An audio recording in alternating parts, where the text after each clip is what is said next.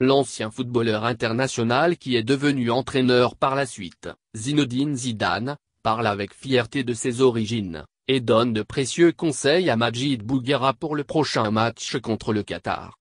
En effet, la victoire de l'équipe d'Algérie lors de la dernière rencontre qu'il a opposée à celle du Maroc dans le cadre de la Coupe arabe 2021 au Qatar, a créé un véritable écho médiatique, à travers les différents outils d'information, mais aussi, les réseaux sociaux, comme c'était le cas pour la déclaration de Zinedine Zidane, qui a tenu à livrer des conseils à Majid Bouguera pour le prochain match face au Qatar.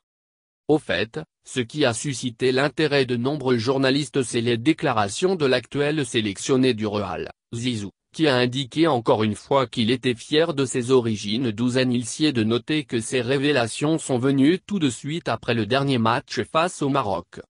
En outre, au-delà du fait qu'il soit originaire de l'Algérie, Zidane a aussi tenu à transmettre un message à Bouguera. Ce dernier qui est l'entraîneur de l'équipe nationale A.